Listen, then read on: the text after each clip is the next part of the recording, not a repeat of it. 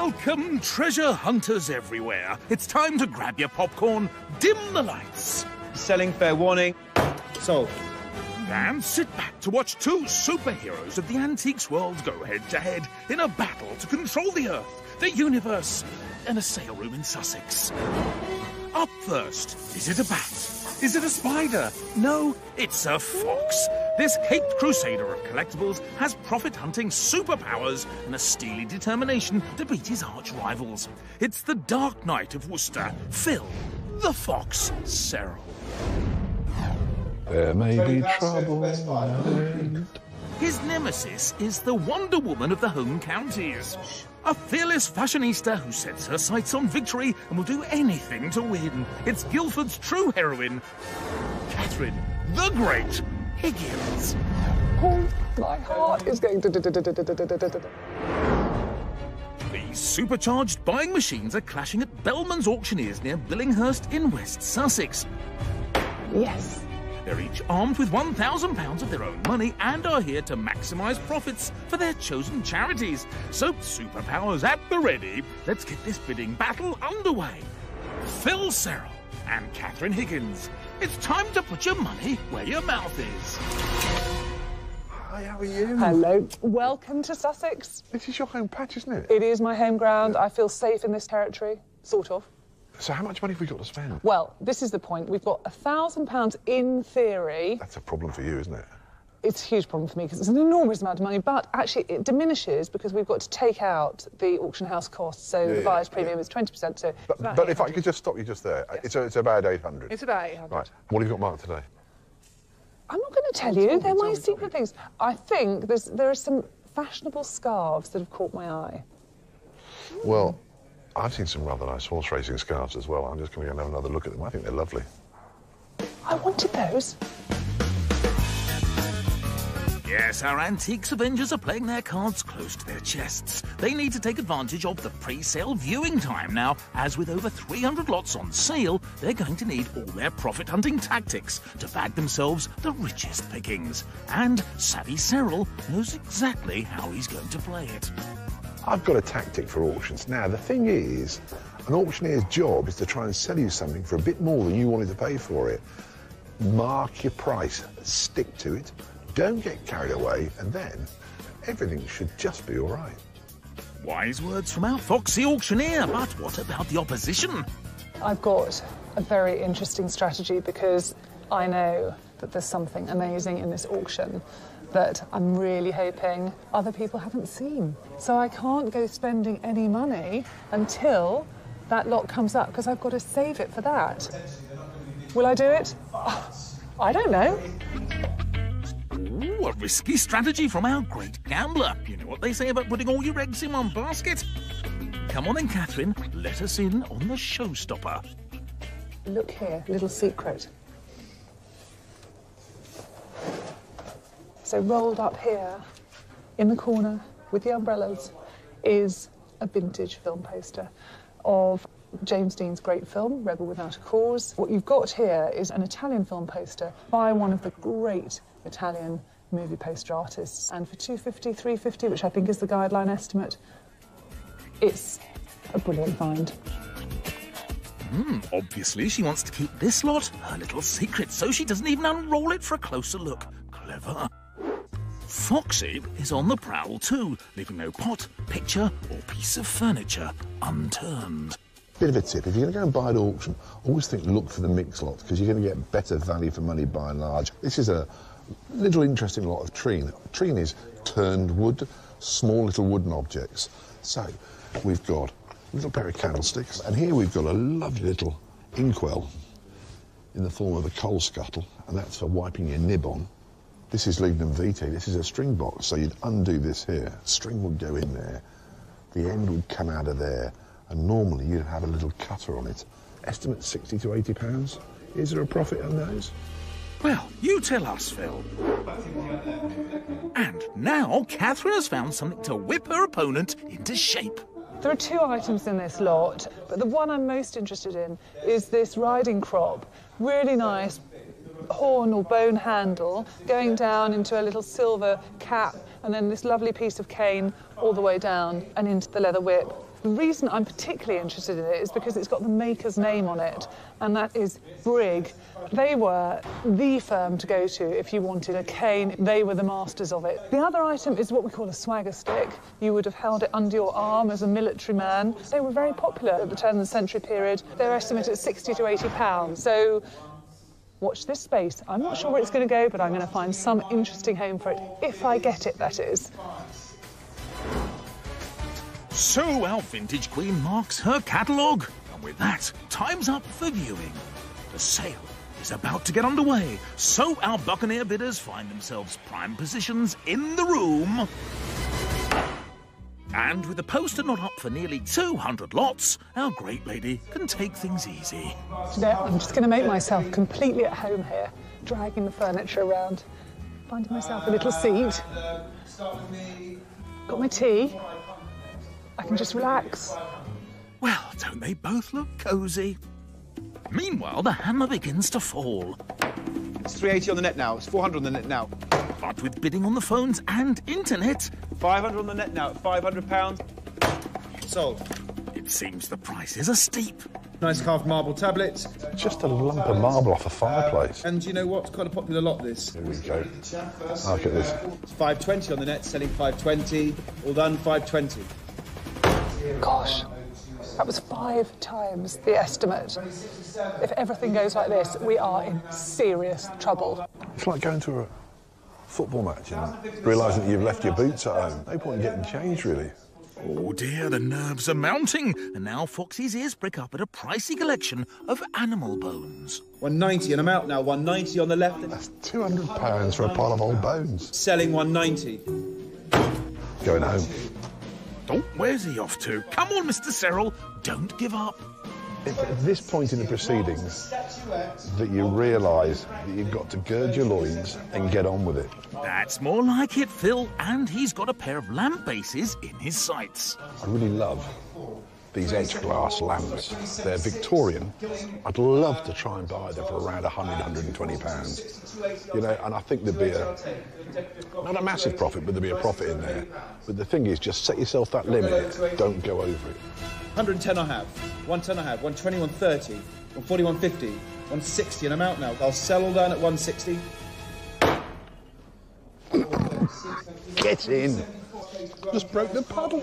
Steady on, old chap. And what happened to setting a limit? With fees, the lamp bases cost just over £198, substantially more than the £120 Phil wanted to pay. I've just bought the dearest lights in the world. Okay, what did you buy? Okay, I'm liking that. Do you want to buy a lamp? How much did you pay? Don't ask. Oh dear, he's overspent already. Well, they may have cost Foxy a pretty penny, but at least he's off the starting blocks, which is more than can be said for some. Two pages to go until the poster comes up for sale. I'm just, my heart is going. If you could hear it, be do do do do do do. Hmm, it's all or nothing for our poster girl, Katherine. And while she's a lady in waiting, Phil is lining up by number two. Lot 2096, Treen wares a pair of small Victorian candlesticks and a couple other bits there. It's just that little bit of tree that I looked at. 60 pounds. With me, 60. Who's got five? 65, 70 with me. 75, 80 with me. 85, 90 with me. 95 pounds. That little lot has just cost me around 120 pounds. And I reckon I've got a pair of candlesticks that are probably worth 20, inkwell that might be worth 50 or 60, and I've got a string barrel that might be worth 30. Never been a strong point maths, really. Uh, yes, the collection costs just under £118, so Phil's going to need to sell his socks off to turn a profit. It's 2 0 to Phil, and the sale is flying by with half the lots already sold. But now it's finally the moment of truth for our great gambler. Two lots to go until the poster comes up. Getting quite excited actually. But wait, has the fox got a whiff of something in the air? 2127. I want to really see it before I bid on it. Where's he gone? Where's he gone? He's disappeared. I need to buy some things. So I've just I've seen in the catalogue there's a poster, Rebel Without a Cause, James Dean, who was a legend. I haven't even seen it. Oh, could Foxy be about to set our great lady asunder? And will he track down the hidden poster? Not sure what he's doing. Still viewing, the sale's going on. That indicates a note of worry. But at the last minute, Phil's distracted when he spots the lamp bases he bought earlier. Phew!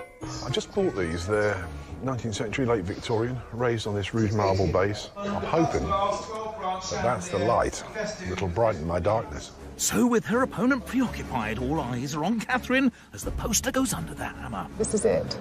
2127, It- it. Italian vintage Okay. film poster, Rebel Without a Cause. Right. I've got two matching bids, and I'm taking the one on the book at £280, with me at 280 300 on the net now takes it away. James Dean, re- there, there we are. 320 in the room, And she's in. Go on, my girl. 350, 380 in the room, 380, Someone else knows about it. Come on, girl. Get in there. Spend your money. I'm bidding against the internet. 480, 500, 520 in the room, I don't know how high I can go actually. 520. And she hold her nerve. 550's bid.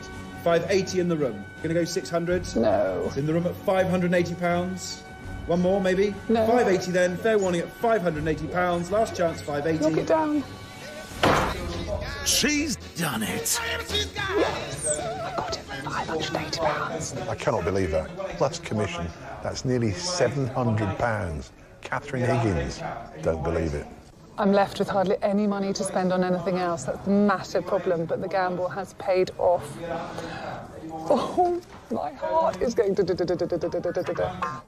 That was a colossal purchase at a whopping £719.20 with fees and nearly three quarters of her budget in one go. Come on then, let's take a closer look.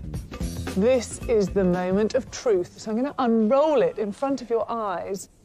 Oh my gosh. Look at this lithographic printing. It is beautifully done. Now, this has actually been linen bat, which is a very expensive thing to do. It's exceptional, really. So, this is a poster pasted up on a giant, giant billboard advertising the film. So, Rebel Without a Cause, which came out in 1955. Oh my gosh, wow! This is, this is amazing. The graphics are so striking. This is a poster by Luigi Martinati, one of Italy's greatest film poster makers. Gosh, you can't get better than this. The size, the fact it survived. So I paid £580, but that's money well spent because these posters can go into the, wait for it, thousands. The sad thing is, if I wasn't doing this contest, I'd be keeping it for myself. Well, she's a very happy buyer, and after that dramatic purchase, how are the figures looking? Our bounty hunters each arrived with £1,000 of their own money. Phil has managed to back himself two items so far and spent £316.20, leaving nearly 684 still to play with. She may have bought just one item so far, but Katherine's poster has wiped off a massive £719.20, leaving just under 281 for the rest of the sale. So, a bold purchase from the great Miss Higgins, and Phil is keen to find out why. You told me I never spend any money. Oh, fire. You've had a go, haven't you? It's really nice. But listen, I'm in a terrible situation now. I have spent pretty much my entire budget, so I'll just have to buy everything that is goes for very little. I've got a lot coming up, but I've worked out a new strategy. Okay. I'm going to unplug the internet. Now, now, Phil, play fair. Katherine may have spent more than double her opponent, but with a total of three lots between them, they both need to get buying and fast. This is a new strategy because I have spent such a vast amount of money on the poster. I have £200 left. I've got some great things that I should be buying. I can't because I haven't got enough money left. And this auction isn't a great place to be if you need to watch the pennies. Our brave redhead needs to keep an eye out for the cheaper lots. 2148, a pair of expanding table trivet. Estimate 40 to 60 pounds. This could be part of my strategy. 50 pounds I have. Oh, can't afford that. 2149, a quantity of Victorian and early 20th century papier mâché accessories. Yes. I've got 120 pounds. Down the front, I 140. can't buy You've it. got 150. That's, and it's a really nice lot as well. Things start really cheaply and then they just spiral upwards and upwards. With prices flying over estimate again and again, does she have any chance with the horsey lot she spotted earlier? Ah, this is the riding crop. Now, this might be in my favour. Uh, I've got 60 pounds. 60. 570, No. 580, 85. Oh, watch out, Foxy's about. So bidding. I think the competition might be bidding on this. 85 pounds then. Fair warning, selling 85 pounds. He's bought my lot. That's cost me about 105 quid. I'm hoping that that crop might get me 60 or 70 pounds, and the stick might get me perhaps another 30 or 40 pounds. So at £105.40, Sneaky Serrell whips the lot from under his rival's nose. And it's 3 1 to Phil. Botherations. Is the great one on the ropes? Now, I'm just going to have to buy whatever it is £50. We've got pages. Oh no, we've only got two pages to go. So this could not be a good situation. She's really played a risky strategy because she's put boatloads of her money into one poster. Now, Jimmy Dean is either going to do her proud or he might sink her. But Foxy should know better than to underestimate his rival. She hears a lot going under £50 and quickly throws her bidding card into the air. It's 35, 40. Commission's gone. It's 40 in the room at 40. It's 40 pounds in the centre of the room, then at 40 pounds. Oh, do knock it down to me, I need it. 40 pounds. I don't know what I bought. Two, one, six, no. Okay, so I bought a piece of surveying equipment. So that's my second item I bought.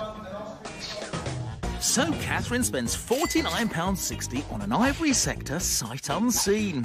And she chances her arm at another blind bid when she hears a mixed lot going under the hammer. 40 pounds. It's bid, thank you, at 40. Where's five? Any more at 45 pounds? 50. Yes. 50 gets it now. Seated left at 50. I've got no idea what I bought. Uh, at 50. 435. I bought a brass coal bin and a fire screen. Mm. Well, they cost £62 with fees, and this time she wants a closer look. The first item is very highly polished brass, moulded almost and shaped as a, as a kind of harvesting hopper. We are firmly, I think, into the 20th century with this piece. What it was made for, I will do some research and find out. This is a rather attractive fire screen, and this is again a rather lovely piece. Didn't intend to buy them, but watch me work away. Our gutsy lady is really taking risks now, and she makes it three in a row when she wins a collection of vintage car badges. 95 pounds in the middle of the room. Katherine has got into the second-hand car market. The badges cost nearly £118 and leave Katherine just £51 left to play with. As this sale room steeplechase enters its final furlong, the pressure's on both our buyers to land their final lots. The next few items up are all horse racing scarves, and our fine filly is first out of the gates. 21.99. the silk derby scarf. Can we take 30 then? 30 at the front. Here, 30. 5 the back. Hard coming up on the inside, it's the Worcester Stallion. 35. He's buying my lot. And Serrell's over the first jump, but with another scarf on the horizon, Katherine's gaining ground. Silk coronation derby scarf commemorating the victory of Pinza. I'll have that. 1953. 35 on the left then at 35. I think I'm okay with 35. Selling 35. Great. So it's one scarf each as our thoroughbreds enter the final stretch. There's another scarf up next, but with Katherine out of money, the Fox makes a break for it. 35, selling 35. Well, I'm going to put two scarves together. That's what I'm going to do. And he's done it. So the results of our scarf buying derby are in. Katherine the Great backed herself one for just over £43 with fees, but Phil the Fox had a final sprint and won two scarves at a total cost of nearly £87. But is he odds on for profit? I really don't know. It seemed like a good idea at the time. But if you want to find out all there is to know about these, go and listen to Katherine, because let me tell you, she'll know. Well, over to our resident fashionista then. This scarf celebrates the victory of Pinza, the great horse that came first over the Queen's own horse and took the 1953 Derby by storm. It's made of silk, and generally these pieces are quite hard to find. It's almost immaculate. It's quite magical, actually. It's very, um, yeah, it's very awe-inspiring. So Catherine ends her sale on a high, and that's the auction over. But as the bidders head home, our wily fox has snuck into the back office to make one final purchase. He spotted an unsold lot with a 60 to 90 pound estimate and backs a last minute discount. I've had a word with the auctioneer I've been able to buy these two bits after the sale that remain unsold. This is a really lovely decanter. It's silver mounted, dated 1928. And this is a little silver cut glass sugar sifter, probably a little bit later than the decanter. What am I going to get for them? Well, I'd sort of kind of hope that I might get 60 or 70 pounds for that. That's got to be worth 10 or 15 pounds of somebody's money all day long. And that's a final £55.80 with fees from Phil's pocket. A smart move from an auctioneer in the know. And that brings this bid-tastic bonanza to an end. But before they get a nose at each other's treasures, what were those final figures? Well, they both arrived in Sussex with a thousand pounds. Phil leaves with six items and spent £564.20. Catherine may have just five items, but she blew her budget on that poster and spent a total of £992. Two very different strategies from our dueling dealers, but they both had to fight tooth and nail for every lot. Ah. Well, you've had a day, haven't you? Can I just see the seat of your pants? Yeah. You have had, I mean, I think your post is fantastic, right? If I'd have seen that, I wouldn't have bought it because I wouldn't have known what you know. Yeah, but you did buy other lovely things. Not many of them, but, Oh, she's so horrible to me. but you did buy. love these. I love these. They are so now. They're so Yeah, decorative. They're yeah. so of our time. Goodness me, I think you could do really well with those. What about the scarves? I'm either twice, Oh. as, twice as well off or twice as worse off. I'm not sure which. I love really. it that we've actually bought the same things. Isn't that Yeah, interesting? I wouldn't mind betting that you might do better out of your one than I do out of mine too, though. So I say, may the best scarf win. Well, first past the post. Oh, come on. Come on. So our bidding buccaneers head home with their auction bounty. It's time to mop their brows, grit their teeth, and prepare for a selling spectacular. They've got to find the very best buyers for all their lots and use their charm and cheek to eke out every penny of profit. Down in Surrey, our great lady is still reeling from the sale. Well, goodness me, that auction was a shocker, really. For me, it hinged on acquiring this lot. Just looking at it, I mean, God, I've been photographing it all morning. Just looking at it is just a dream. I've already had a couple of phone calls to a number of vintage poster dealers who are really specialists in this kind of area, and it would definitely be one of their clients who would love to scoop this up. Destination for all my other items. So my 1953 Victory of Pinza scarf is a horse racing item, and I think that will go to someone in the horse racing world.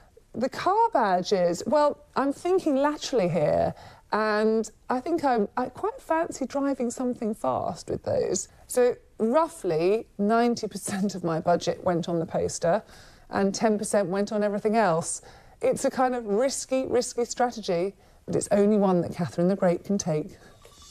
Well, we don't doubt you for a minute. She also has to sell her ivory sector, fire screen, and brass coal bin. Over near Worcester, Phil's putting in some elbow grease. Never let it be said that I'm not a modern man. And you know, presentation is the key to selling all of these things. So if I can just perhaps clean the inside a little bit and get this all polished up, that's going to help when I come to sell it. These scarves, I am so far out of my comfort zone with those. These are my favourite piece. I absolutely love these. I was a bit concerned, well, not a bit, because this is, as you can see, just broken down here. Now, Worcestershire is the centre of the glass industry in this country, Stourbridge in particular. And I've been on the phone to the museum up at Stourbridge where they have a restorer, and he tells me, and I think this is just incredible, that basically they can cut this off here and they can either, if he's got an old one, put a new base on it, or he can make a new base for me, and it's going to cost around £50. That's going to put these in at just about £250. I still think they're cheap. I think they're lovely. I just hope the buyer does. He also has to sell his riding crop and collection of treen.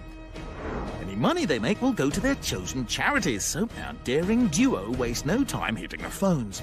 They're lining up potential buyers across the country, but until they shake on it, no deal is ever sealed. Phil's first port of call is the glass restorer in Stourbridge with his Victorian lamp. The damaged part is removed under Fox's nervous eye. I think if I did this, I'd probably break more than I'd mend. Are kittens here. There we go, just like that. The bill for the new base actually comes to £40, so Phil needs to get his thinking cap on for a buyer. Meanwhile, his great opponent is revving up for her first potential profit. I brought my vintage car badges to Reading and I've come to see Dominic, who's a bit of a petrol head. He owns this go karting track and I think he's really going to like them. Hmm, she's certainly thinking outside the box, but can she turn a profit on the £117 purchase price? I have bought you something that connects with motoring history. I've bought you four Fabulous. car badges, emblems that would have gone on the front of your motor car. The first is the AA badge, which I think is, you know, rather striking and dated to the 1960s with the serial number there. The second is the Royal Automobile Club. You've got the Royal Signals here, and here from the Worshipful Company of Carmen. So the, the idea of transport wagons, carriage, that is the badge that marks all of that. What's your first impression? I think they're lovely. I could see them maybe going on display in one of our venues or something like that. And do you know if these would have sat as a set on one car? They would have sat as a set. So it's interesting who would have owned these because there's a connection with the Royal Signals, there's a connection with a livery company in London, but they're all individually quite sought after. Price wise, as a group, I'm thinking the £250 mark, that sort of price would be my opening gambit. How about this? I'll buy them anyway Oh, good. for 150. Okay. And if you can beat me on the circuit, I'll pay 200 for them. It sounds a really good deal. The only worry is I've got to beat you. Well, you did say you fancied driving something fast, Katherine. Our racing redhead hits the track.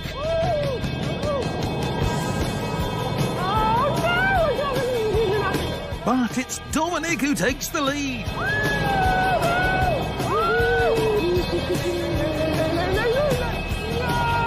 And he's past the checkered flag.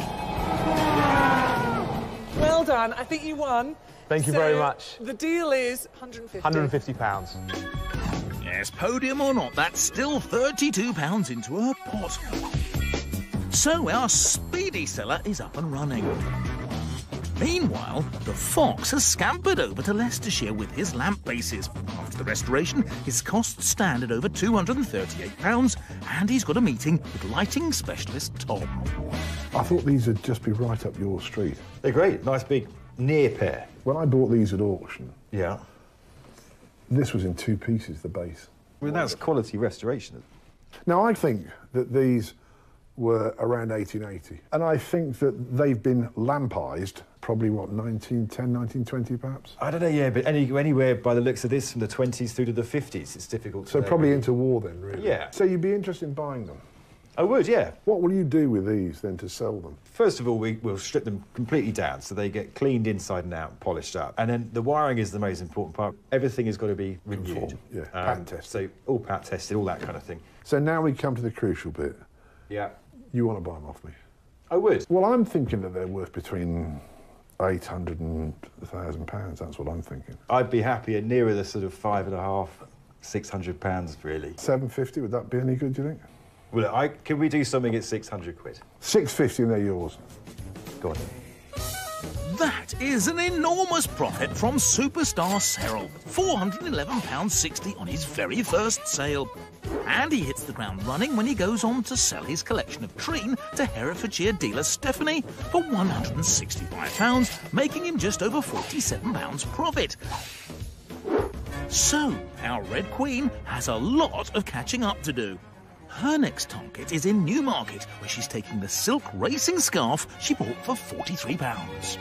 Well, I've actually done quite a lot of research on my scarf and I've tracked it down to this actual racing stables where Pinza himself was trained. I've come to meet Graham Budd, who's a specialist sporting auctioneer, and I think he'll really love this piece of racing memorabilia. Smart thinking from our fine filly. We are at the heart of the Newmarket stables, really. We're here where Pinza, on my scarf, was trained. Absolutely. I believe in that stable over in the corner there was where he was trained and won the Derby in 1953. Did he really look like this? I'm, I'm going to show you the scarf now because you never know whether reproductions are accurate. The answer is, if I'm being honest, that is not a portrait of Pinza or the jockey. Okay. It was, it was a template that they used every year.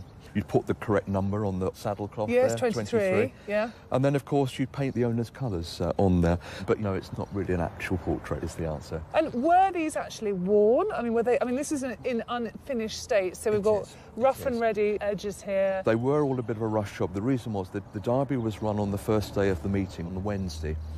And by the Thursday, these were actually being sold on the racecourse. Gosh, that's Um, quick, isn't it? Yeah, it is. Price-wise, I was thinking of around about the hundred pound mark. I think we're close. Good. I think we're close. I was going to offer you £80 for it. Yeah. Eighty pounds. It's a deal. It's a deal. a racing deal A has racing been struck. deal. Horse trading. Horse trading. yes, that's what we've done. So Katherine nearly doubles her money, making £36.60 profit. But the celebrations are cut short as she stumbles at the next hurdle when she tries to sell her antique surveyor's equipment. Well, I've tried extremely hard with this sector. It's not been very easy to find a buyer. So, what I have decided to do is sell it to a private collector, but he's only prepared to pay me £40. Technically, I haven't made a loss because it was £40 hammer price. Have I? Really? Okay, a little bit of a loss. Maybe, possibly. I never make a loss. I've made a loss! Oh dear, a loss of nearly £13 in fact. It's been a roller coaster ride and there's no doubt who's in the lead. But let's see how the numbers stack up so far. Phil has sold just two of his six auction buys but has banked a massive profit of £458.80. But Katherine is trailing way behind. She's sold three of her five lots, but only made £55.90. The challenge is far from over, though. With plenty of big lots to sell, anything could happen. So, as Katherine plans her next move, Phil is already trotting off to his next potential sale. He's come to an equestrian centre in the Cotswolds to try and sell his riding crop and swagger stick to vintage side saddle enthusiast Lydia. You collect lots of vintage tack and stuff, don't you? I do, and that's one of the reasons I really like side saddle because there's loads of vintage saddles and crops and canes, and it's, it's, there's a lot of rich history. 1920 was, was the heyday of sort of side saddle. we just check that data. 1922. Oh, as if by magic. Funny old world, isn't it? Yeah, Bang on. So is that a crop? That's a hunting crop, and it would have been used in the hunting field to open gates. That's what you use the bone there. handle, yeah, Yeah. and you So hook on stag, isn't it? Yes, Staghorn. staghorn. That's right. And then uh, the, the shaft is sort of cane. I think Yeah. it, is it bamboo? I think it might be a piece of bamboo. Yeah. That's by Brigg. And they were a famous London maker, and they had a big shop in London. Well, that's the one part of it because this came with it. It's a, li- like a little swagger stick. Yeah. But what's interesting is this here, look, because this is hallmark silver. Might these be something that you might be interested in? Definitely, off me? definitely. Have you got one like this? No, I haven't got one like this. Thank you, thank you. They've cost me £105 or thereabouts. I was hoping to get 180, 190. I mean, I'd take 180. How does that sound? I think that's okay. I think You're an that's angel. okay. Thanks, Lydia. Thank Absolute you. angel, thank you. you. Another £74.60 into Foxy's profit pot. He didn't even have to haggle. Lydia was really very fair with me. I just had one overwhelming fear that she'd asked me to get on that horse, side saddle or otherwise. That wouldn't have been for me.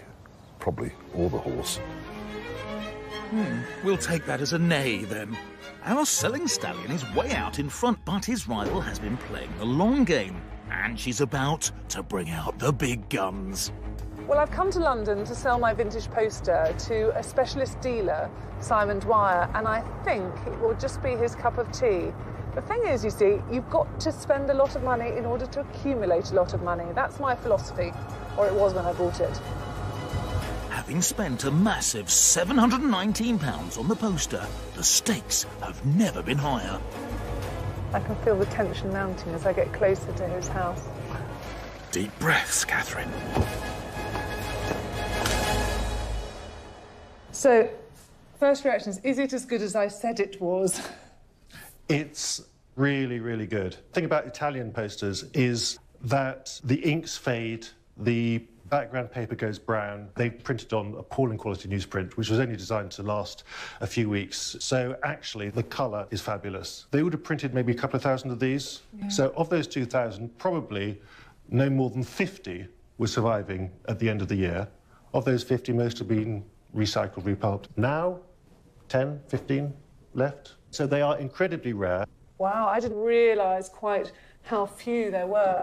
The Italian film posters are actually worth more than the American film posters, which for the archetypal American film you might find surprising. But this is this is proper art. To be honest, these are so rare. People want these. In terms of what I would like to see for it, I'm going to start quite high because I know it's rare, I know it's special. I'd like to see something around about £2,000. I'd normally sort of pitch it around a thousand, I don't know, would 1500 how does that sort of sit with you?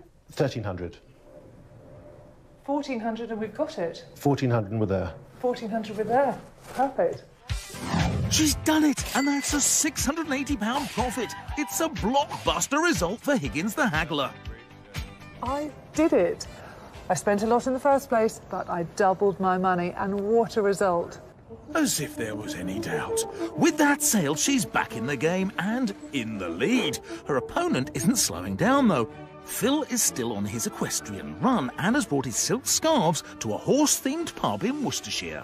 Rebecca. I'm hoping to add to your equestrian thing because I brought these to show you. Look, they're sort of Derby scarves, and each year there was a scarf produced to commemorate the Derby winner. And with your jockey theme Yes. here, I thought they might be ideal for you. What do you reckon? Yes. I was kind of hoping that I might get around 150 or 160 pounds for the two. That seems a little bit steep. Go on then, make me an offer I can't refuse. 120 would be the last offer on them. 120. I tell you what, I'll take that. Thank Okay, You very much thank you. Thank you. Well, that's £33.20 profit on the pair. Phil finishes his quest when he sells his glass decanter and sugar sifter to a jeweller in Malvern, And that, David, will just sweeten the deal. netting him a final £39.20 profit. So Foxy is over the finish line. Katherine the Great has one final lot to find a home for. She bought the fire screen and coal bin at auction for £62 and quickly makes back £40 when she sells the screen to a dealer in Hove. But the brass bin in the shape of a grape harvester's pod proves surprisingly popular when she advertises on an international dealer's website. Oh, that's the sound of America. In fact, a specialist who deals in grape harvesting bins in Savannah, Georgia, is interested in taking a closer look. George, is that you? How are you, Katherine? It's going to be interesting to show this to you over the internet, but I'm going to start from the top so you can see the, the almost repoussé decorations. Then, if you look down further down, it's actually got a nice rural interiors scene, and then the back is actually plain, so it's flat backed, and I think you can see that there. That would be most likely strapped to their back, and the grapes would be put in there to carry from the vineyards. It hasn't got any, any holders for straps, so I was wondering whether it was actually a functional piece or whether it's a decorative piece. Do you know about the age of that particular one? I thought it's around about the turn of the century. I think that perhaps just a little earlier because of the craftsmanship It is. there. It is a, a unique piece. You usually see the vineyards more of a landscape type Yes. environment. This one shows inside It's a, environment. it's a domestic scene, and I isn't like it? that about it. Yeah, And yeah. it, it sets it apart from a lot that I've seen. Price wise, I was hoping for around about 700 plus dollars, something like that. How does that feel? That is a massive opening gambit. You'll have to hold your breath and wait to see if George was feeling flush or whether the price tag scared him off. Before we reveal all, let's remind ourselves of what they spent at auction. Phil and Katherine both put £1,000 of their own money to Sussex. Phil won six lots and spent just over half his budget at £604.20. Katherine bought one item less but spent £995.30, including postage costs. But now it all comes down to who turned the most profit. All of the money that our brave duo made from today's challenge will go to charities of their choice. So, the wait is finally over. It's time to find out who is today's Put Your Money Where Your Mouth Is champion. Hello. How are you now? I have got some trepidation here. I've referred to you to everybody as poster girl. You are my poster girl. I am your poster girl. Well, go on, tell me. How it, good was it it? was right, and it went to a great dealer who has recognised a good thing. Great, fantastic. Those vases I adored. Well, they were a fantastic story because I got the one restored. You would never ever know it was broken. It's fantastic. But the thing is, the other thing, I mean, we bought the same lot, didn't we? we did, yes, that, yes. our Oh, racing I had a tough time yes. with those cars. Did you? Yeah, like a real. And you? Uh, well, I had a great time. I went up to Newmarket. It was fantastic, and traced back to the stable. Pinza was in. Hmm. Yeah, The green goddess. that's me. just getting I better am by- your poster girl, and I think are, you are, you without are, you are. further ado, Go on then. One, two, three, go. go. Oh, actually, gosh, you've done a lot better than I thought Oh, you thank would. you. You are horrid. What do you mean I've done better than you thought? What do you mean? actually. Yes, it's a resounding victory for Katherine. They don't call her the Great One for nothing. So, just how much did she sell the coal bin for? Can we shake a virtual hand with 650 US dollars? Oh my gosh, we have a deal. So that's a massive profit of over £394 for the bin and screen. What a way to end her selling spree. Well, I'm just totally delighted. It was all about that poster, really. It was nerve wracking buying it, but I held my own in the end, and it was worth it. I thought I'd done okay at the auction. Those glass lamps, they really did me proud. And I was pleased with them. But then Poster Girl comes along, rebel without a cause, Phil without a clue. I got spanked. But the wily fox gets another chance to beat